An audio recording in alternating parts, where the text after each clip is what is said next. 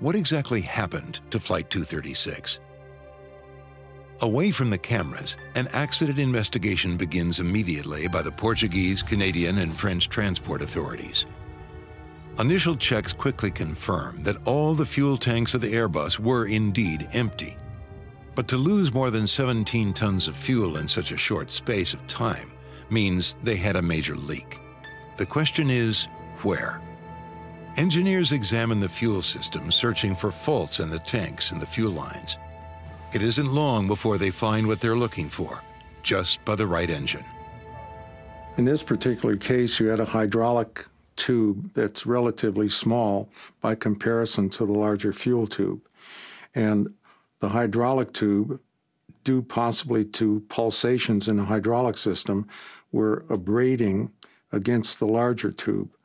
And eventually the larger tube uh, had a leak in it, and the leak, or not the leak itself, but the, uh, the hole eventually possibly led into a fracture of the tube, allowing this massive fuel flow outside of the engine.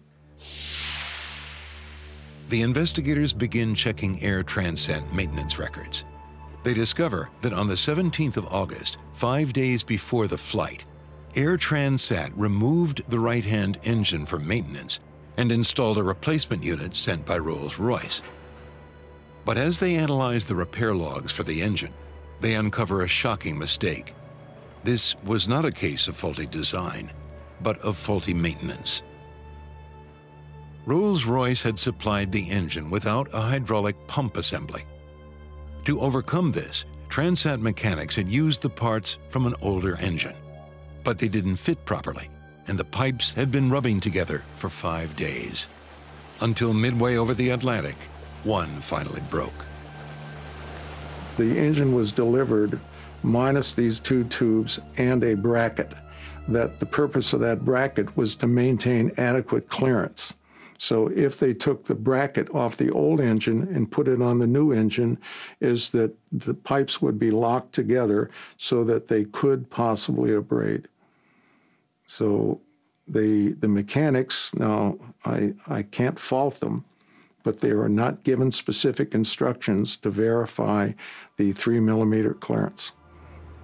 As investigators questioned Air Transat mechanics, they find more disturbing evidence of malpractice. The chief mechanic testified that he had been concerned about the substitution of another hydraulic assembly. Five days before the accident, he raised his concerns with his superior. Put it on, leave it on, so that plane can get up in the air. He was told that it would cost too much to have the aircraft waiting for the missing parts and to go ahead with the substitution.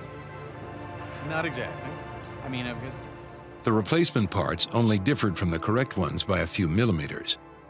But it was the difference that almost cost 306 lives.